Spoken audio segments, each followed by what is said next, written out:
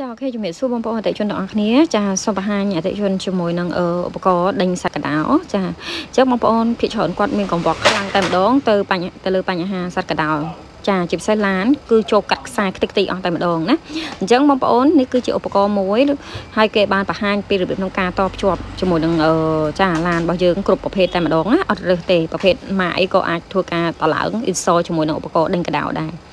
ចាអញ្ចឹងឧបករណ៍នេះគឺមានប្រសិទ្ធភាពខ្ពស់តែម្ដងព្រោះគេបានធ្វើការតេស្តហើយពិសោធន៍សាក់លបងរួចហើយអញ្ចឹងឧបករណ៍របស់យើងគឺមាន2សម្រាប់ដាក់នៅក្នុងឡានមានន័យថា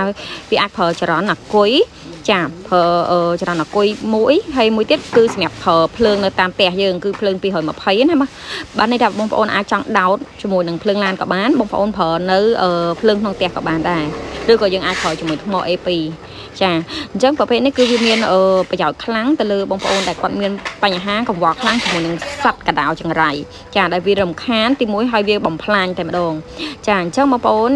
ចាអាចធ្វើការកម្មងបានណាយើងមានពីរប្រភេទជូនដល់អតិថិជនចាយើងមានប្រភេទដាក់តាមតជាមួយនឹងអគុយឡានហើយនឹងប្រភេទដែលយើងប្រើដោតភ្លើងនៅតាមផ្ទះចាជាពិសេសអ្នកដែលគាត់នៅចា តាមហាងភោជនីយដ្ឋាន ចាព្រោះបើយើងមានសត្វកដោចង្រៃអញ្ចឹងគឺវាអត់ល្អទេចាវាគេហៅថាអត់មានអនាម័យចាអញ្ចឹងបងប្អូនអាចប្រើជាមួយនេះបានព្រោះសត្វកដោតែមានគឺចាវាបំផ្លាញតែម្ដងវាកាត់ស៊ីខ្ទេចខ្ទីអស់ហើយអញ្ចឹងបងប្អូនគួរតែមានមួយណាហើយវាមានប្រសិទ្ធភាពអានេះគឺជាតេស្តពិសោធន៍ទៅលើចាឧបករណ៍របស់យើងពេលដែលយើងដាក់ទៅគឺវាដំណើរការដោយ alert គេហៅថាលើវិសុសកម្មជាសម្លេង រំខានដល់សក្តាវចាហើយវាអត់មានផលប៉ះពាល់អីដល់មនុស្សរបស់យើងទេ ចាវាអត់មានផលប៉ះពាល់ដល់យើងទេ